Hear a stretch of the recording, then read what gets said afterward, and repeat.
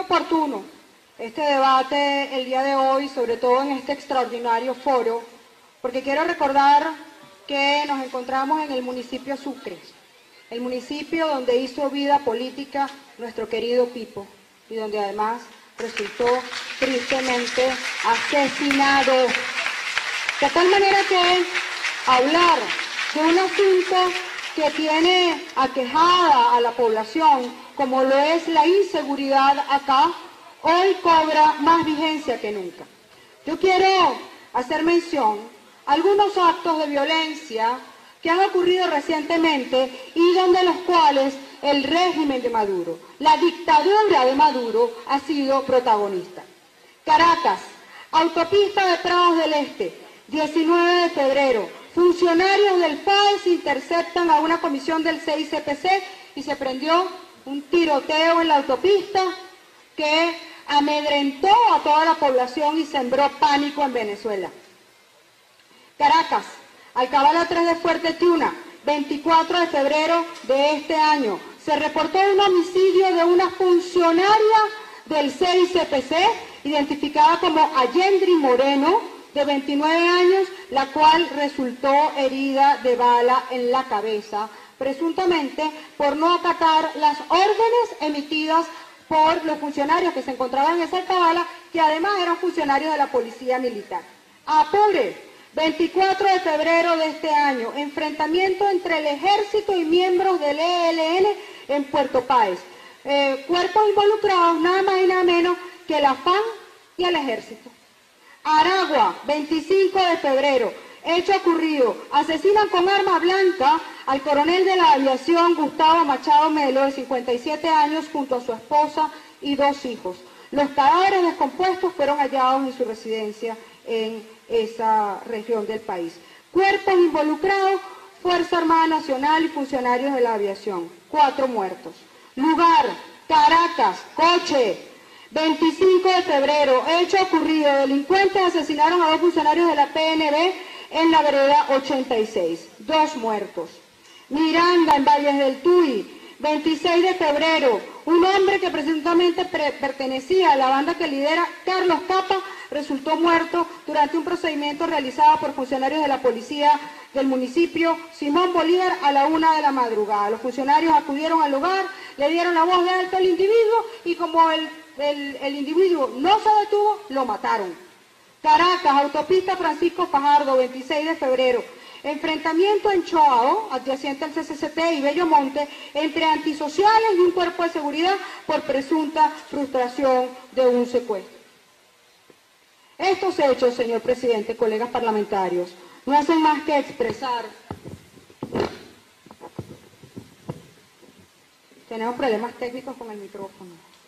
Evidentemente la satrapía tiene secuestrada nuestros espacios y nosotros nos encontramos en esta situación de dificultad, pero de legitimidad. Yo quiero mostrar a ustedes algunas de las imágenes que ilustran estos hechos. Este fue el buque donde fue asesinado el capitán Jaime Herrera Orozco en Anzuategui, en Pozuelos, hecho denunciado por esta Asamblea Nacional por piratas en el estado Anzuategui. Eso está pasando en Venezuela. Esta es la familia que fue asesinada en el estado Aragua.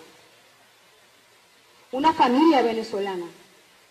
Fue asesinada y nadie sabe por quién, pero presuntamente hay funcionarios del Estado involucrados.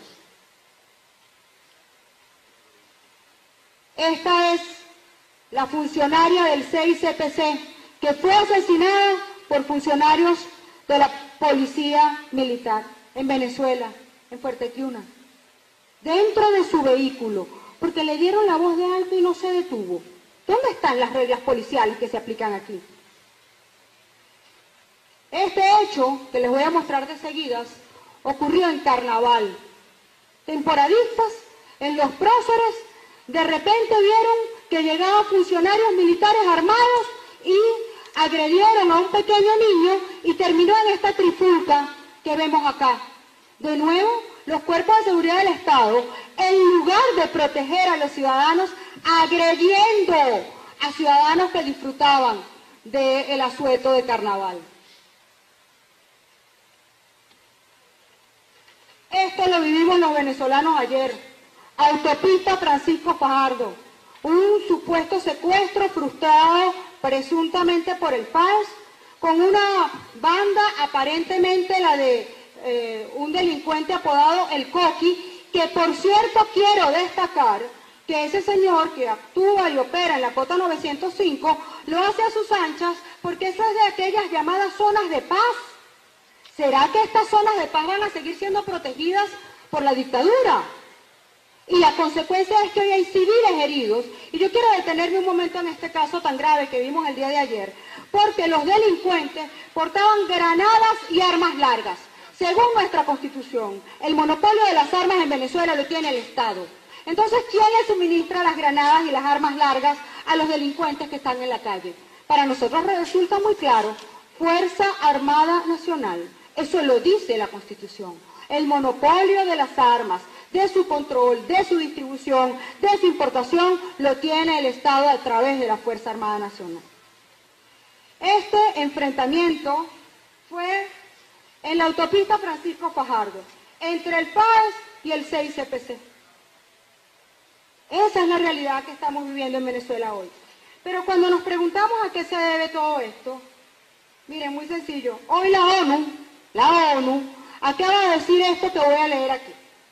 Hay indicios de que en la República Bolivariana de Venezuela los grupos delictivos han logrado infiltrarse en las fuerzas de seguridad gubernamentales y han creado una red informal conocida como el Cártel de los Soles para facilitar la entrada y salida de drogas ilegales a Venezuela señala la Junta Internacional de Fiscalización de Estupefacientes en su informe anual difundido hoy en Viena.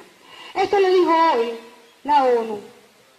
Entonces, desde esta tribuna, señor Padrino López, usted es cómplice de las bandas criminales, usted es cómplice del cártel de los soles, usted se va a poner del lado de la Constitución.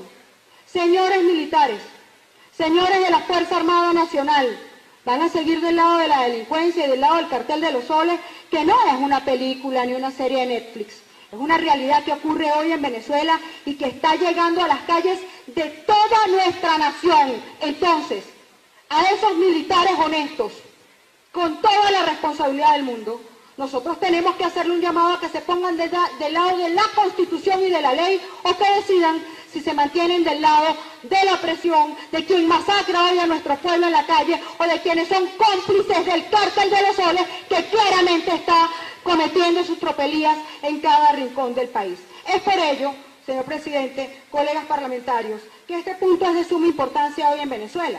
Porque cada vez que nosotros vemos que las fuerzas de seguridad del Estado, en lugar de evitar que ocurran hechos de violencia, los promueven y ponen a la población en absoluta zozobra, es evidente pues que la única consecuencia es la que hoy vemos. Venezuela es el país más violento del mundo. Caracas es la ciudad más violenta del mundo. Y uno insiste en preguntarse por qué. Porque cada vez que vemos un acto de nosotros en la calle, hay más policía que, que gente.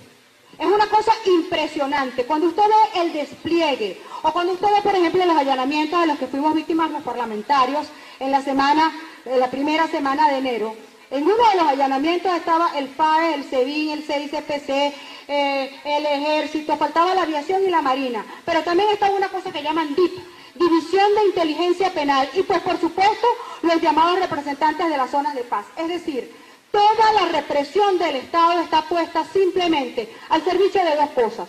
Uno, de la delincuencia, que hoy nos mantiene en zozobra, y dos, obviamente, de reprimir a quienes pensamos distintos. Estos hechos, señor presidente de la República de Venezuela, Juan Guaidó, colegas parlamentarios, evidentemente no van a quedar impunes, porque en nuestro país va a haber justicia. Y hoy ya mismo Vemos cómo la comunidad internacional se está pronunciando en tal sentido y cómo hoy la propia Organización de Naciones Unidas destaca que el cartel de los soles está haciendo vida en Venezuela. Dicho esto, señor presidente, con su venia, nosotros vamos a seguir remitiendo a los organismos internacionales todos estos hechos que constituyen grave violación a los derechos humanos en nuestro país. Es todo, señor presidente, colegas parlamentarios.